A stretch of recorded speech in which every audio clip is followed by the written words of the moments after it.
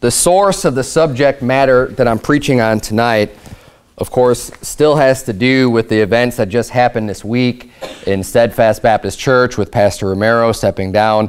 And the reason why I'm spending so much time on this, even though they're completely independent from our church, it's still a big event and, and we can learn a lot from this.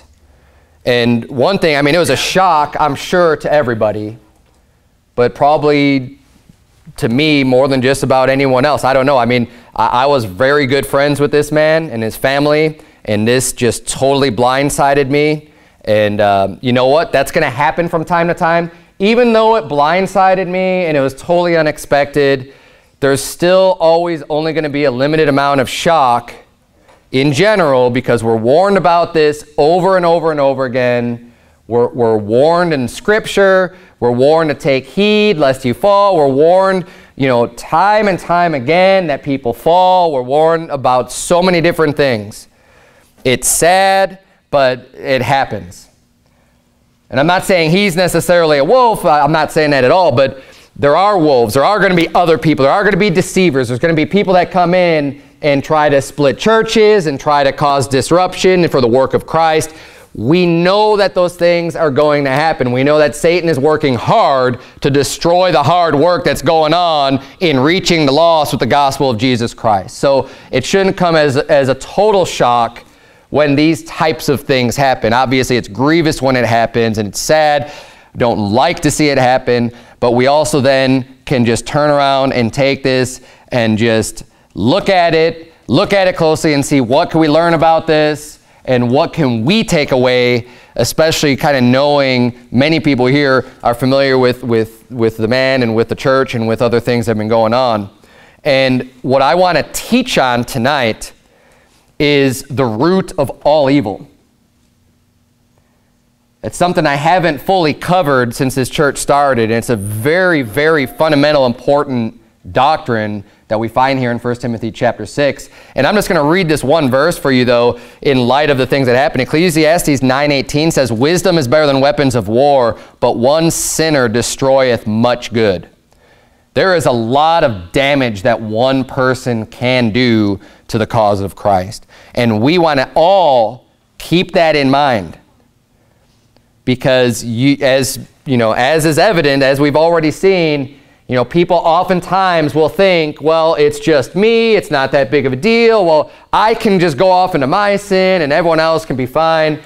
That's not the way it works. When you get into sin, you're going to end up doing much damage. And especially if you're someone, especially when you, if you're someone that's known to be a Christian, you're representing our Lord Jesus Christ here on earth, and people know, hey, that's a Christian person. Whether or not you're a pastor doesn't matter. Just anybody in your life, anyone in your, your field of, of influence, people who know who you are, family members, relatives, coworkers, whoever it is, that ought to know that you believe the Bible, you follow Jesus Christ. When you get yourself into sin, when you get into, into these matters and really just defile yourself, you destroy much good. One sinner can destroy a lot of good. Now, the Bible says here that the love of money is the root of all evil. And I have a couple other Bible versions here, especially if you're visiting for the first time. You may or may not be aware we are a King James Bible only church. We only use the King James Version of the Bible because we believe that that is the preserved Word of God in the English language. Since we speak English here, that's what we have.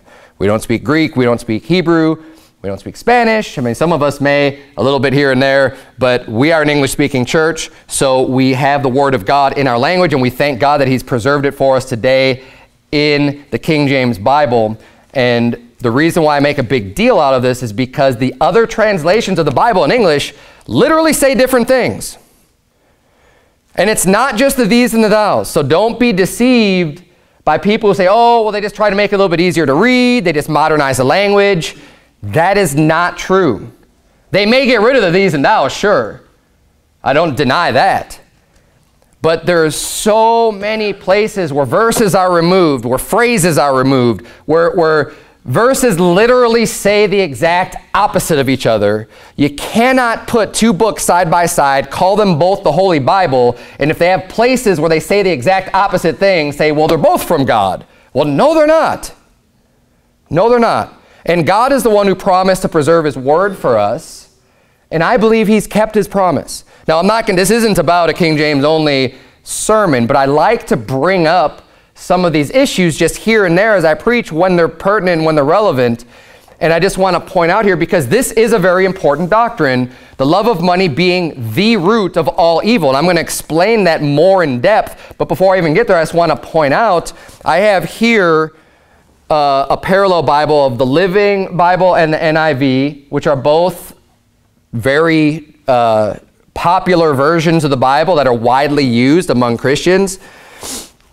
And in 1 Timothy chapter 6, in verse number 10, the Living Bible says here, For the love of money is the first step toward all kinds of sin. That's not exactly the same thing as being the root of all evil. The root is the cause, it's the source. It's not just the first step towards, towards all kinds of sin. No, this book says it's the root. And in the NIV, it says in verse 10, for the love of money is, is a root of all kinds of evil. Now, I also have the New King James Version right here, and I'm not going to turn to it. I have it right here. You can check it out later. It basically says the same exact thing as the NIV. It's a root of all kinds of evil. There's a huge difference there because it's either the root or it's a root. I mean, would you say that would be a big deal if the Bible says where Jesus Christ said, I am the way, the truth, and the life, as opposed to I am a way, a truth, and a life? They're two very different things. One is very exclusive, the way. And this may not have that much of an impact of, you know, about Jesus Christ being the Savior. However, the difference is still the same as far as using the words. It's either the root or it's just a root. It's just a cause, but then there's all these other causes. Well, which one is it? Which one's right? They can't both be right. And is it a cause of all evil, or is it just many kinds of evil? No, the Bible says it's all that's the root of all evil.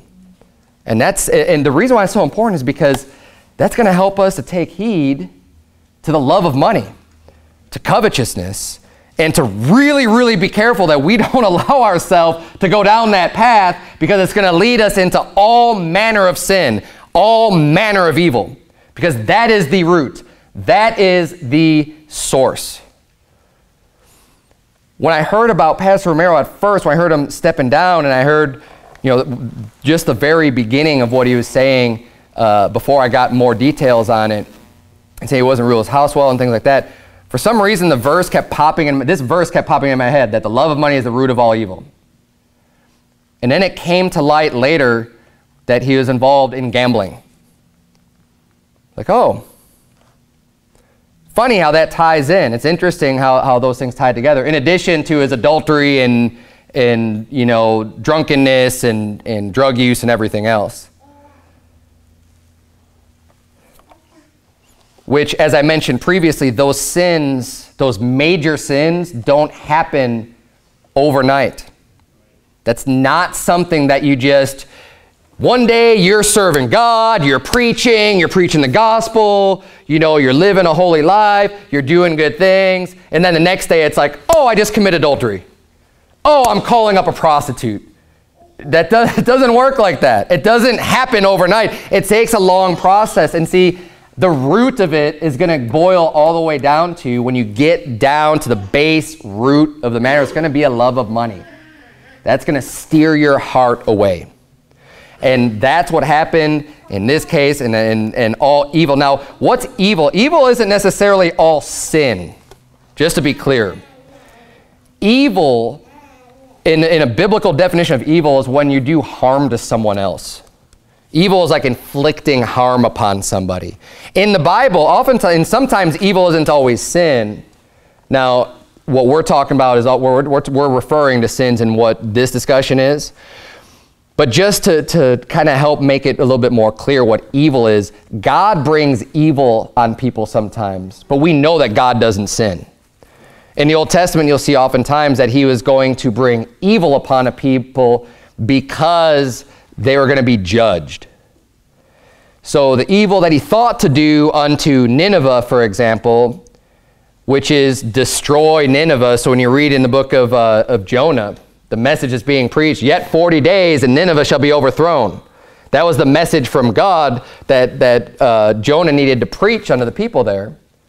But then what happened is the people received the message, they repented, they got right with God, and then God repented of the evil that he had said that he would do to them.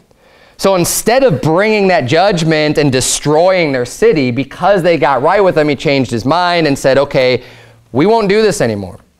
So he didn't inflict evil upon them. If someone's carrying out the death sentence, for example, in a, in a righteous way, in, in the proper manner, where someone is guilty of a crime punishable by death, that person who, who does the execution does evil on that person, but they're not sinning.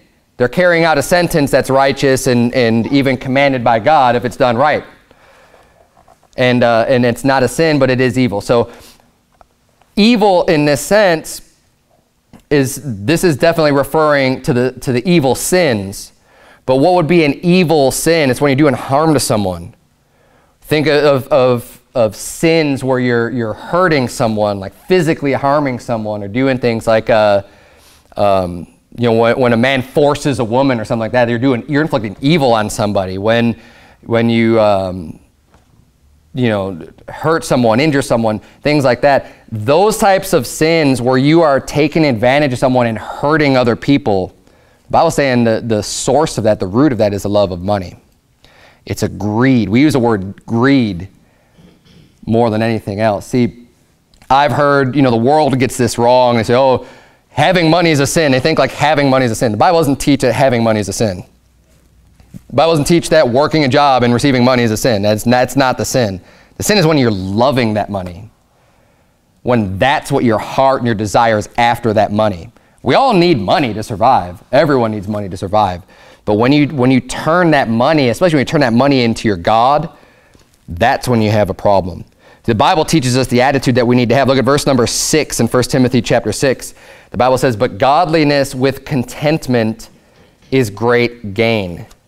So being godly, doing right things, and just being content with where you're at, whatever, whatever that may be, wherever you are in life, just being content, being satisfied, being happy with where God has you.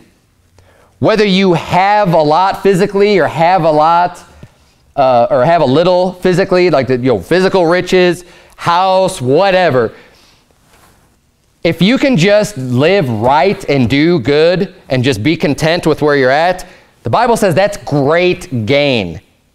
That is a, that is a great gain for you to have that attitude. Way more of a gain than any than winning the, the lottery, right? It's way more gain to be just living right and just be content with what you have. Because people that aren't content, you're never going to be content. You're never going to be satisfied. When you love money, the thing is, the love of money, you can never fill that. Because no matter how much you get, when you love money, you're always just going to want more. And that void is never going to be filled. And people who love money are miserable people.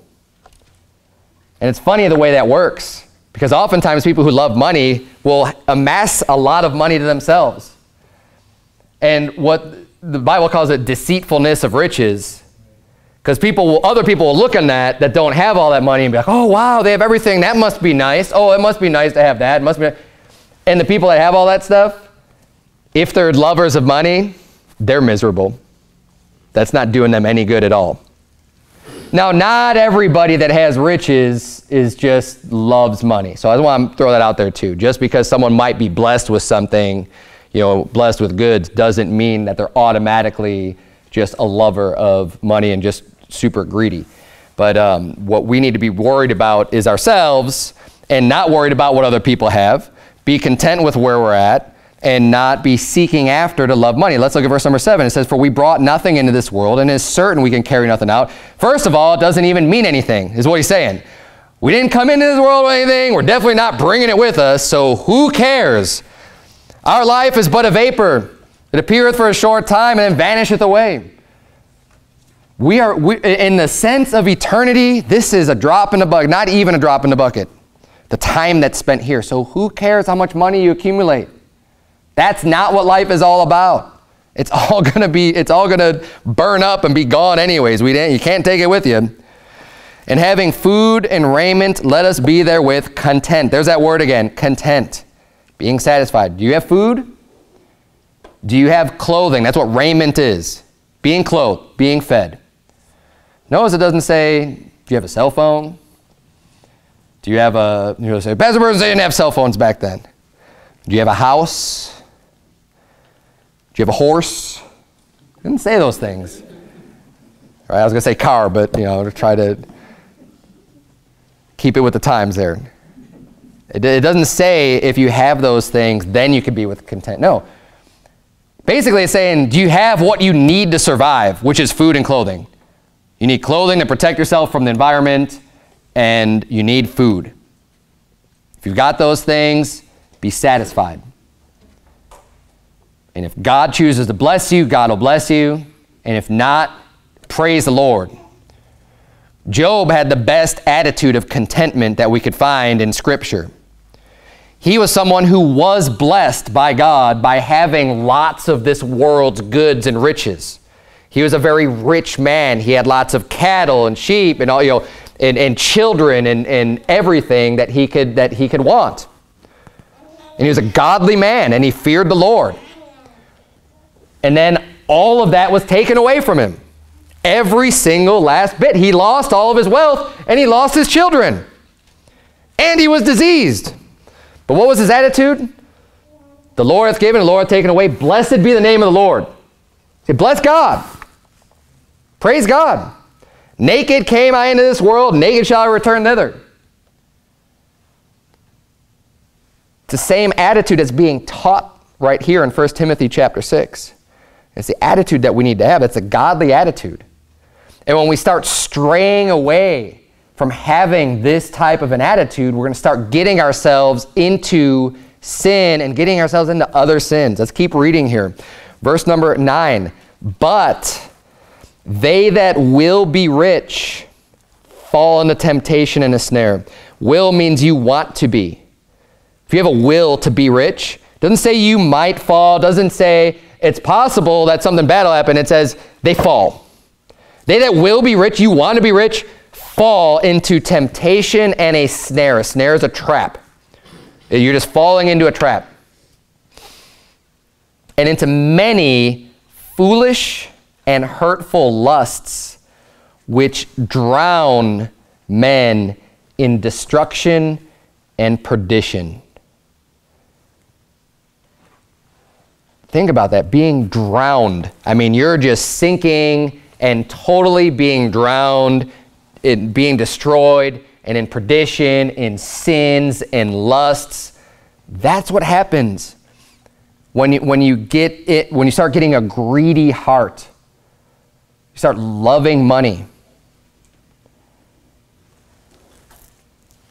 Verse 10 For the love of money is the root of all evil which while some coveted after, they have erred from the faith and pierced themselves through with many sorrows. Many people have fallen into that trap. And you are not immune just because you're saved, just because you believe God, just because you have the Holy Spirit. That doesn't make you immune to loving money. And once you start loving money, get ready to be pierced with many sorrows. Not with one, many sorrows. Why? Because you're going to fall into many hurtful and deceitful lusts. And it's just going to destroy you.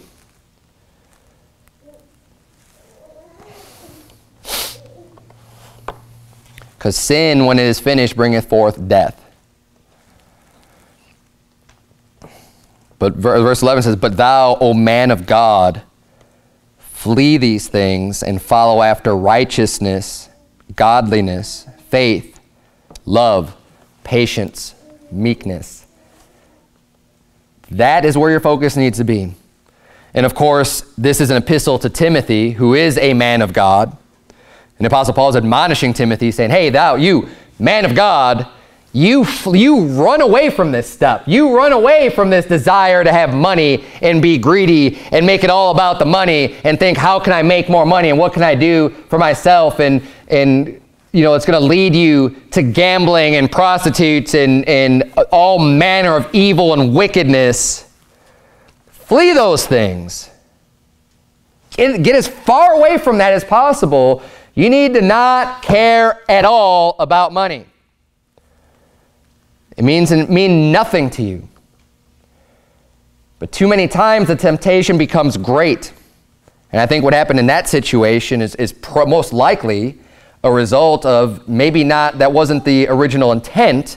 Because you see, false prophets have an intent of, of stealing money and making merchandise of people. Actually, turn, if you would, to um, 2 Peter chapter 2. So just go uh, forward in your Bible a little bit from 1 Timothy to 2 Peter chapter 2.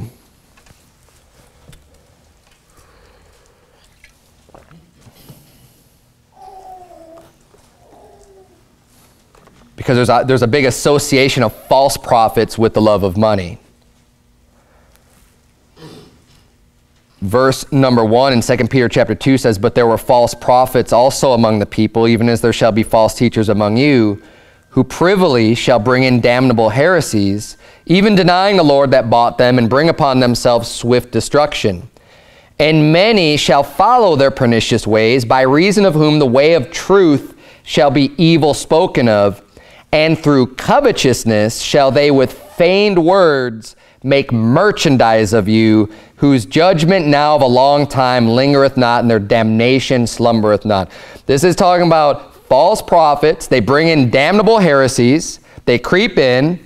They want to make themselves sound good and sound great and, and put themselves off as being these Christians. But their ways are pernicious, and by reason of them, because they're false prophets, because they deceive, because they love money, the way of truth the Bible, God's way, is evil spoken of. Christianity gets a bad rap because you've got false prophets out there that only care about the money. Christianity gets a bad rap. One of the things I dealt with a lot in Prescott Valley was the CFM Ministries, which was the Potter's House, is this Pentecostal church that they talk about money all the time. I mean, you show up to a church service, you're probably going to hear something about tithing. Something, oh, you got to give money. You know, let's pass the plate around three times and, and make everyone feel guilty if you're not putting money in that plate. And it's all about the money. Look, we've all experienced or heard about these churches where the, you know these preachers is all all they care about is money. They're false prophets. I mean, look at the Joel Osteens of the world. That's his multi-millionaire that'll never preach on sin, never say anything to possibly offend somebody. Which, you know what, if you never say that, you're not reading the Bible, or at least you're not preaching the Bible. Go ahead and just read the Bible out loud in today's society and try not to offend somebody. Impossible. Not going to happen. If you read the whole Bible out loud, just read it out loud in a public place and just start reading from Genesis 1 and how long is it going to take before someone gets offended at what you're saying. These guys that seem to be able to please everybody and everybody loves, and they have their multi-million dollar mansions and boats, you know what they're doing? They're deceiving people. They don't care about people. If you cared about people, you'd tell them what's wrong in their life. You'd tell them about the sins. You'd tell them to get right with God. Tell them we need to fear God and keep his commandments, for this is the whole duty of man. Instead of telling them how great they are and just keep on giving me money,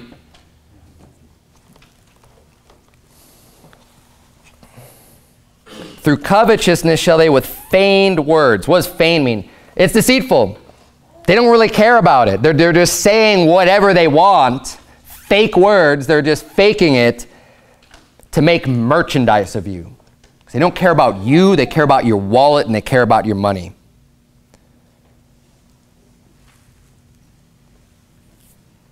False prophets are often associated with that level of greed.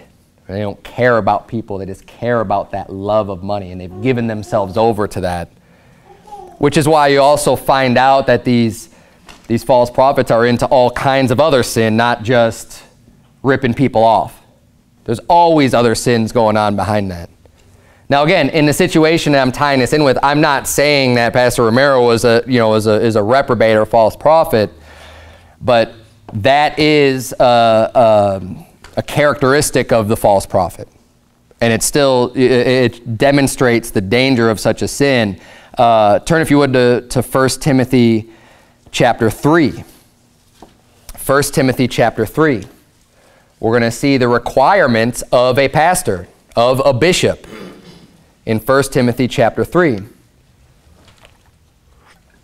This is spelled out in Scripture that when you're trying to identify who should we have to pastor a church, you need to find someone who's not greedy, who doesn't love money because that will defile them, that will corrupt them, that will make them not a good leader. They will not be able to preach the word of God if they love money.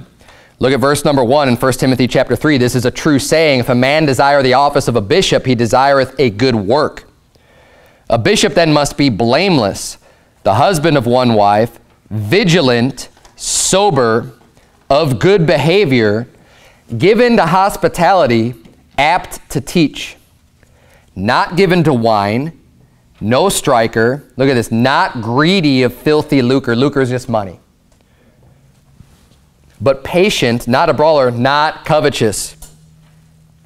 One that ruleth well his own house, having his children in subjection with all gravity. For if a man know not how to rule his own house, how shall he take care of the church of God? Not a novice, lest being lifted up with pride, he fall into the condemnation of the devil. Moreover, he must have a good report of them which are without, lest he fall into reproach and the snare of, a devil, of the devil.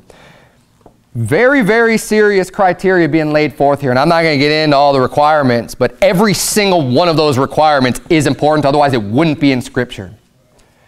Holding the office as a man of God, which is, again, Timothy was a man of God and he was receiving instruction from the Apostle Paul and being, and being told and warned, saying, Look, this is a true saying. If a man desires office of a bishop, he desireth a good work. This is how a bishop needs to be. If you're going to do a good work, if you're going to hold that position, if you're going to be hold the trust of people and have their confidence and lead them and instruct them and guide them in the ways of the Lord, then you have to have all these things. If you don't have any one of them, you're not qualified. If you have greed, if you have covetousness, if you're a striker, if you're given to wine, you cannot be a pastor. You cannot be a bishop. Same thing, interchangeable words. This is taught even in the Old Testament. Uh, turn, if you would, to Mark chapter 7. I'm going to read this for you in Exodus chapter 18. Exodus 18, 19, the Bible says, Hearken now unto my voice. I will give thee counsel, and God shall be with thee. Be thou for the people to Godward, that thou mayest bring the causes unto God. So in, in the context here, this is Moses' father-in-law instructing him because Moses was hearing all the concerns of all the children of Israel. When he was judging the children of Israel, like everybody, all the smallest matters, it doesn't matter what it was, everybody came to Moses, and Moses is just like, you know, this is too much of a weight. There, there's everybody's coming to me. He's like, from, from the time I wake up to the time I go to bed, this is what I do all the time. Because he felt like he had to do everything. And his father-in-law is instructing him here, but and, and instructing him wisely. And this is the reason why we see it in Scripture. He's, he's giving him good advice. And he's saying that Moses needs to be for the people to Godward, that thou mayest bring the causes unto God. Verse 20 says, And thou shalt teach them ordinances and laws, and shalt show them the way wherein they must walk, and the work that they must do. Moreover, thou shalt provide out of all the people able men, such as fear God, men of truth, hating covetousness, and place such over them to be rulers of thousands and rulers of hundreds, rulers of fifties and rulers of tens, and let them judge the people at all seasons. And it shall be that every great matter they shall bring unto thee, but every small matter they shall judge. So shall it be easier for thyself, and they shall bear the burden with thee. So he's saying, you need to get other people involved in this and, and just kind of rank people there, you know, this person's going to be over thousands, this person's going to be over hundreds, this person's going to be over tens. And basically, you start at the low level with all the small issues. You got some little minor issue, you know, they're already instructed in the law and how things need to go.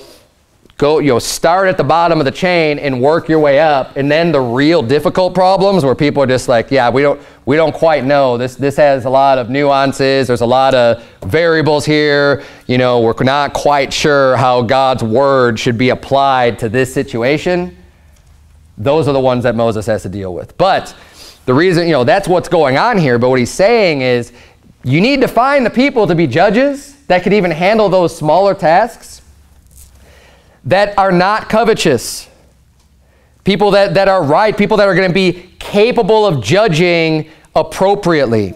Men of truth, they have to hate covetousness. Why? Because if someone has that covetous attitude or they're greedy, they can be turned, they can be persuaded, they, they can be bribed, right? They're not going to judge righteously if they care about money. The reason why a pastor can't be covetous, can't be greedy, well, what happens when you've got the guys in here that are putting all the, you know, the majority of the money in the offering plate? Well, all of a sudden now, you might not want to preach the things that are going to offend those people because you care about their money coming in instead of caring about them and say, hey, if this offends them and they leave, either way, I need to let them know because I actually care about them. And when you come to this church, you may hear things that offend you. And I don't say things that are offensive to try to offend you. If they're offensive, I'm not even the one that makes it offensive. I'm just trying to preach God's word. And it's not because I have it out for anybody, that I'm, you know, I'm not picking on anybody when I preach, whatever it is I preach. I'm trying to preach the whole counsel of God because that's my job. And if it offends the person that gives the most money in this church, so be it. And if they leave, fine. I don't want you to leave. I don't want anyone to leave. I want everyone to stay and to grow and get right with God, but that's the goal. But if I care about your money and if I care about being, you know, being covetous, that's not going to work. I can't do my job, at least the job that God wants me to do. And that goes for all judgment. All judges, that's why you can't have corrupt judges, even in, in their criminal court system. Because what happens when they're judging a case? Well, if some corporation that's got all this money and they're just they're getting grease, they're getting, you know, these these bribes. Then proper judgment doesn't take place. They're just bought and paid for. That's why you can't have someone who's greedy and covetous in those positions because then you won't have the right judgment being, uh, being taken care of. Now, in, in the case of Donnie Romero, I don't think he started off that way, but what happens is, I think, you know, he got popular and was receiving a lot of donations, especially online, and all of a sudden there's, this, there's all this money here. And having that whole pot of money just kind of sitting there probably is what turned his heart. I don't know. It's conjecture, but it seems to make sense to me.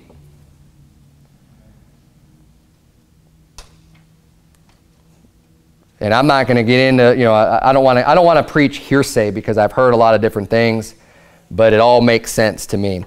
Either way, regardless of specifically what happened in his situation, the Bible is still true. And what it says about loving money being the root of all evil. And I believe that to be a fact. And when people going around and hurting other people and bringing evil upon people and bringing evil upon their wife because they commit adultery against them, that starts with the love of money. The love of money is a very selfish sin. It's a very self-centered. You're focused on yourself because you care about gratif- you know, your, why do you want the money for? For yourself. to gratify yourself. When you love money and you just want to have that, you want things, you want to have stuff for you. And when that becomes your God, as we're going to see in Scripture, you know, the Bible says that you cannot serve God and mammon. You can't. Because either you're going to love the one and hate the other, or I'll just, I'll, i got the quote in here. Um, I was going to get to this later, but no man can serve two masters. It's in Matthew 6 24. For either he will hate the one and love the other, or else he will hold to the one and despise the other. You cannot serve God and mammon. Mammon's money, saying you're either going to have, like, you know, basically God can't be your God if you're looking to serve money. If you're looking to just, just have this greedy attitude where you care just about get, making money. You can't serve two masters. It's one or the other. And once someone, especially a man of God, starts loving money, they can't serve God. Now their heart is after that money. And because they can't serve God, they're not going to be walking in the Spirit of God either. They're walking in the flesh. And then the more you're walking in the flesh, now you're into all kinds of, you start getting into all kinds of other sins. I had to turn somewhere. Mark chapter 7, right?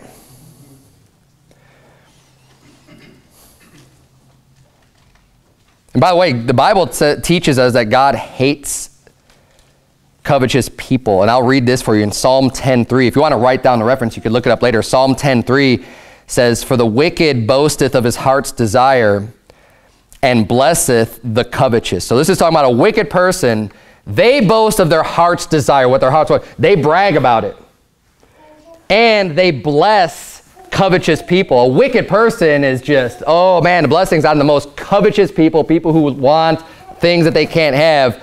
It says, whom the Lord abhorreth. God hates the covetous. And notice it says, whom, whom the Lord abhorreth. Hate the sin, love the sinner is a Gandhi quote, not a scripture quote. Now, there's many places in the Bible where it talks about hating sin, but there are places in the Bible where it talks about God hating people. And to deny that is just to deny Scripture. I mean, as much as you might not want to believe that, or as much as you might have heard otherwise, the Bible says, For the wicked boasteth of his heart's desire, and blesseth the covetous, whom the Lord abhorreth. Abhorring is hating. I didn't write the book, I'm just going to preach through it. Mark chapter 7, verse number 18, the Bible says, And he saith unto them, Are ye so without understanding also? Do ye not perceive that whatsoever thing from without entereth into the man, it cannot defile him, because it entereth not into his heart, but into the belly, and goeth out into the draught, purging all meats.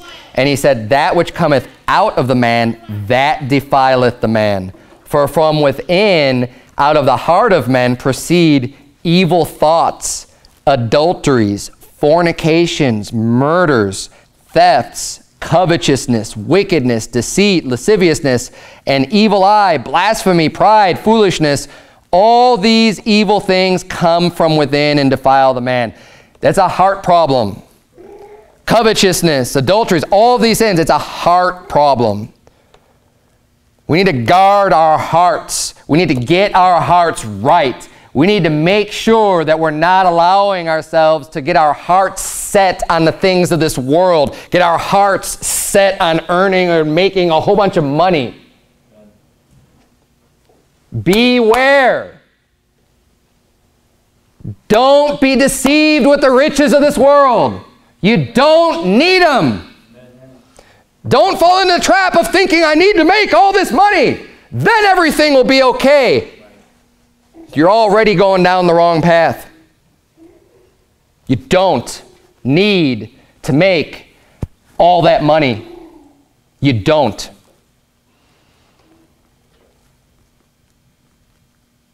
if you, want, if you need to have all the stuff, you need to make a bunch of money. you don't need the stuff. Whatever you have, whatever God has blessed you with, whatever job you have, be content with that. Because when you're discontent with that, you are going to be drowned in perdition and sorrows and you will not be you will not have peace, you will not have happiness, you will not have joy. It won't come. You're going to be stressed out all the time and focused on the wrong things. It's going to take you away from serving the Lord and you're going to serve money. Don't fall into the trap. Get out of it before things get worse. That's not what life is about. Who cares? We shouldn't care.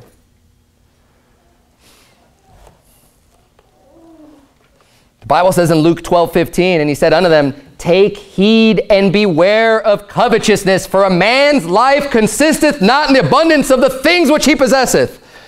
Life is not about what you have. That's not what it's all about. Take heed and beware. It's warning. And that's the words of Jesus Christ when he was on this earth teaching. One of the things that he felt was so important to get across and is recorded for us in the Gospels. Because think about it, he lived on this, on this earth for what, 33 and a half years, roughly, somewhere around that time frame? And what we have recorded for us is I've, I've got this really big Bible, so it's harder to illustrate, but you know, when, when, you just look at the Gospels of, of the words that are recorded that came out of his mouth, it's not a lot. Now, now, we're taught in the book of John that, hey, if you were to, you know, if books were to be written about all the works that he did, you know, the world couldn't contain him. He did a lot while he was on this earth. Okay? But we're given a, rel- a very relatively small amount of just his sayings, words, everything. We're given what he wants us to have, though. And one of those statements that's repeated is warning, he's saying, take heed and beware. I want to make sure you guys know this. Take heed and beware. A man's life consisteth not in the abundance of the things which he possesseth. That's not what life's about. You want to know the answers to life? Jesus already told us. Don't get caught up into this stuff. And it's repeated over and over and over again in Scripture. This is one of those fundamentals, one of those key things that we need to keep ourselves right with on a regular basis. Not to get caught up in this. Because we live in a society that's going to tell you you need to have this stuff. You need to have the newest cell phone. You need to have the best computer. You need to have all this digital technology. You've got to have the fancy car. You've got to have the fancy house and the boat and everything else. You need to have all this stuff.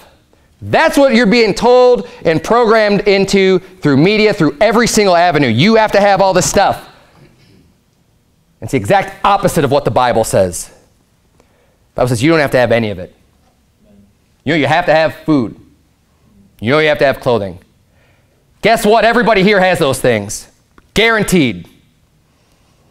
I don't even know everybody here, but I see that everybody's clothed, and nobody looks that hungry to me right now. And if you're hungry, we got food on that back table, all right? Help yourself.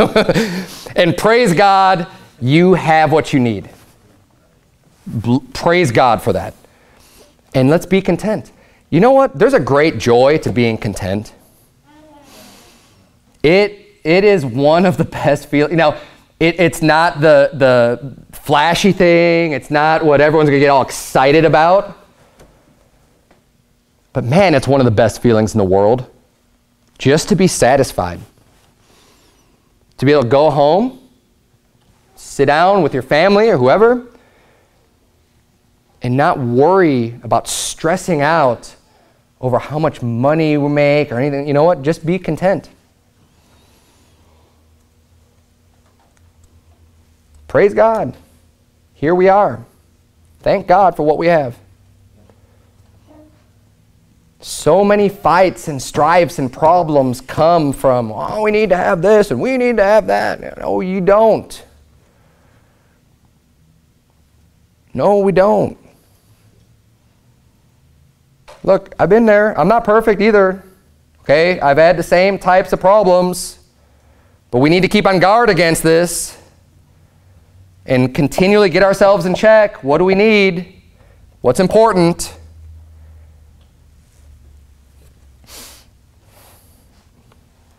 Let's turn to Matthew chapter 6. I quoted the one verse, but I, I want to get the whole thing in context here. We're almost done.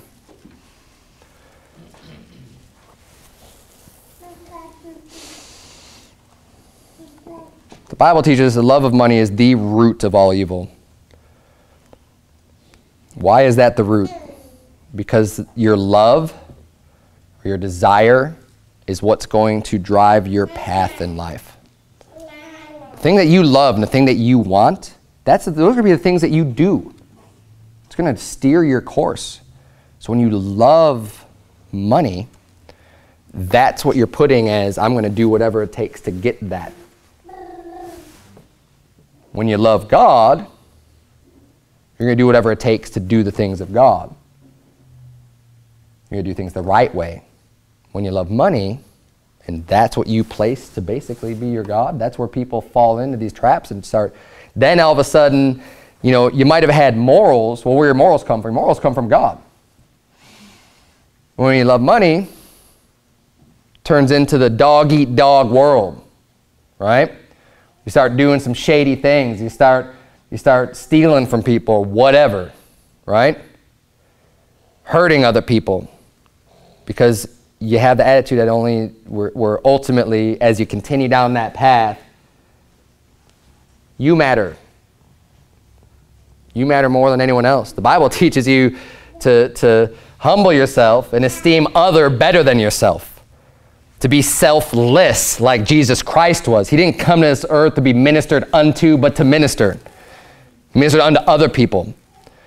When you're greedy and covetous, you think about and care about yourself. You put yourself first. When you have the attitude of Jesus Christ, other people come first, you come last. Completely opposite. The love of money is the root of all evil. Look at Matthew 6, verse number 19. The Bible says, lay not up for yourselves treasures upon earth. Again, this is Jesus Christ. Again, more words from Jesus Christ himself. Lay not up for yourselves treasures upon earth, where moth and rust doth corrupt, and where thieves break through and steal. But lay up for yourselves treasures in heaven, where neither moth nor rust doth corrupt, and where thieves do not break through nor steal. For where your treasure is, there will your heart be also. The light of the body is the eye. If therefore thine eye be single, thy whole body shall be full of light. But if thine eye be evil, thy whole body shall be full of darkness. If therefore the light that is in thee be darkness, how great is that darkness? No man can serve two masters, for either he will hate the one and love the other, or else he will hold to the one and despise the other.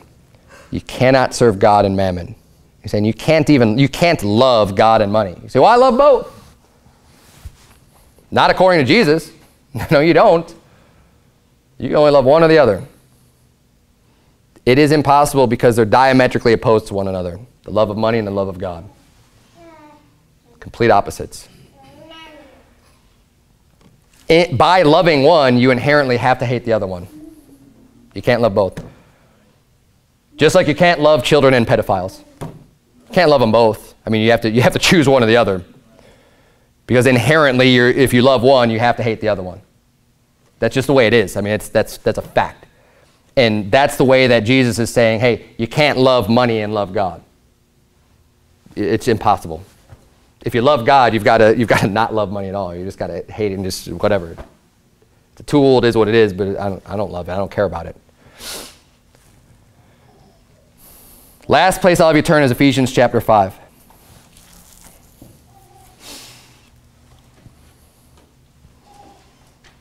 Ephesians 5, we'll get some instruction, some further instruction on what we need to do. The reason why you're here today, I believe, is because you love God. That's why I'm here today. I love God and I love you. That's why I show up to church. And I believe it's the same way for you. And that's great. Amen. let's continue with that heart and that attitude and apply that not just for Sunday at 4 p.m. and not just apply that Sunday at 10:30 or Wednesday at 7 or whatever you show up. Let's apply that 24/7. When we're out of here, when we're in our personal life. Let's continue to keep a love for God in our life. Look at Ephesians chapter 5 verse number 1. The Bible says, "Be ye therefore followers of God as dear children." and walk in love as Christ also hath loved us, and hath given himself for us an offering and a sacrifice to God for a sweet smelling savor. But fornication and all uncleanness or covetousness, let it not be once named among you as becometh saints. This shouldn't even be named among you. These are some grievous sins fornication, uncleanness, and covetousness desiring to have the things you can't have. Being greedy. Don't even let that be once named among you as becoming saints. Neither filthiness, nor foolish talking, nor jesting, which are not convenient, but rather giving of thanks. You know, you know what it takes to give thanks? It's to be humble. You know people aren't humble do? They say, I deserve that. I'm entitled to that. How about just be thankful for what you have? Let's give thanks to God instead of complaining to God. We see a lot of complaining in the Old Testament of the children of Israel, complaining about what God's given them. Complaining about this manna. Oh, this we have to eat this manna every day. It's a miracle that you've even got the manna. It's a miracle God provided for you. You don't have to do any work for You step outside and you just collect it and eat it. You ungrateful bunch of people. But it's easy to point the finger at them and say, oh, yeah, they're ungrateful. Why don't you look at yourself? Where are you being ungrateful to God for where you're at? And you start getting bitter and discontent with what you have and where you're at. Because that's what really matters to you is not what the children of Israel did. Why don't you look at what they did and say, How am I being like them? Because wherever you're at, God's provided that for you. The Bible says every good gift and every perfect gift cometh from above, from the Father of lights.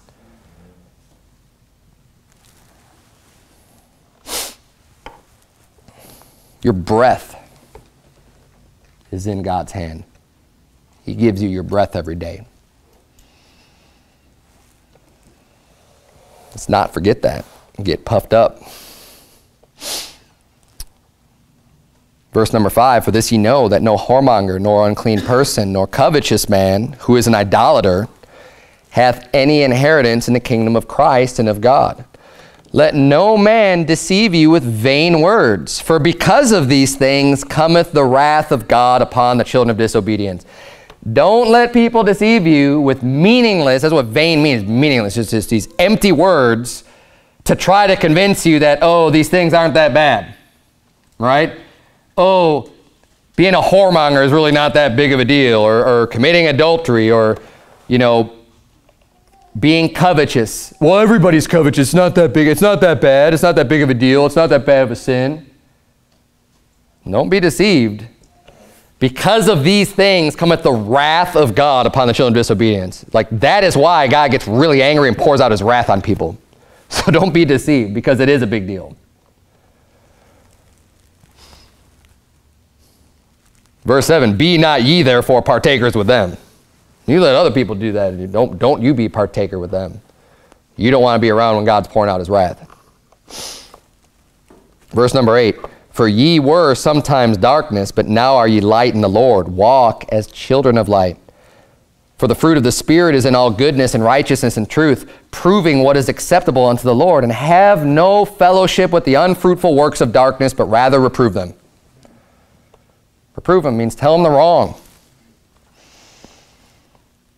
It doesn't mean don't say anything. It means reprove them. It means tell them wrong. No, that's not the right way. Oppose.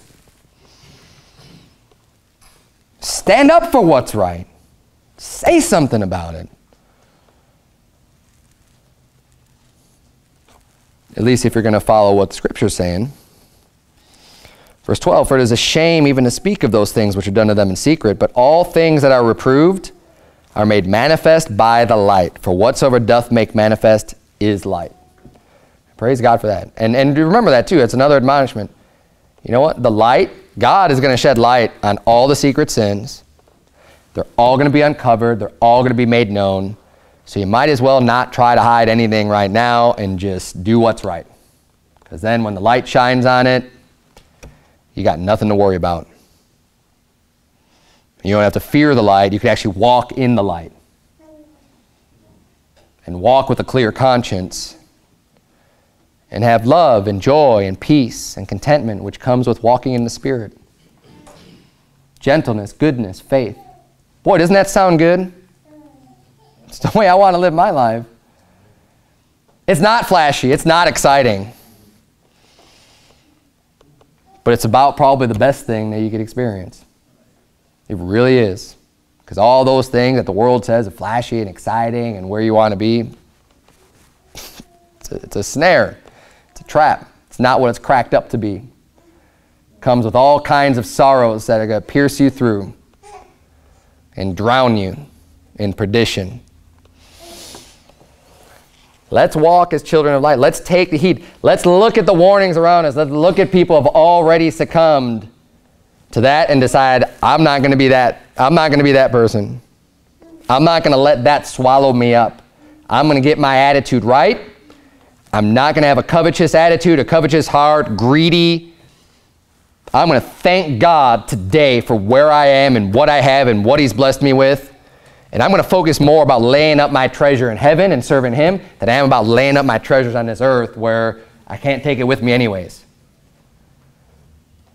And I'm going to start to live that, that life that's going to bring me contentment and bring me joy and bring me happiness. Let's bow our heads have a word of prayer. Dear Heavenly Father, Lord, we thank you so much for providing us with such great wisdom. Lord, I thank you that you love us enough to tell us these great truths that we don't have to just go out and experience everything for ourselves in order to understand the truth of these things. Lord, help us to be able to, to apply your words to our lives and to make corrections where we need to make them, Lord, in our attitudes. And God, we live in a dark world and, and we have so many influences about us and so many um, people trying to convince us to buy things and, and philosophies of men that are going to tell us that we need all this stuff, Lord. Help us to just get in your words and, and to um, just be content with where we're at and not to be complainers and murmurers, but. Um, rather just be content and, and look to serve you. And so, Jesus' name we pray. Amen.